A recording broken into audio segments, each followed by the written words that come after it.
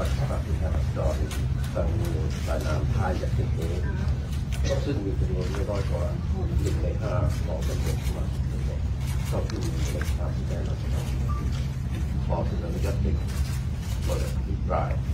ทั่วไปเพื่อลงไม่ไว้วางใจของสี่เป็นรายบุคคลตามรัฐธรรมนูญแห่งราชอาณาจักรไทยพุทธศักราช2560มาตรา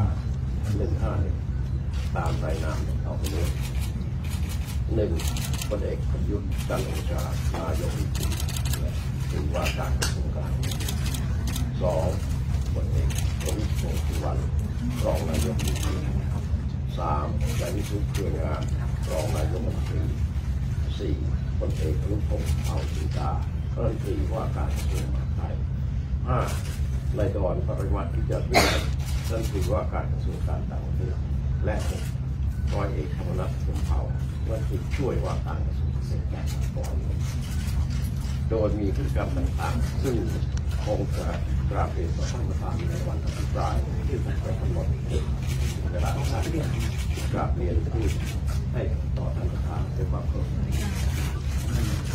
เป็นเยอะ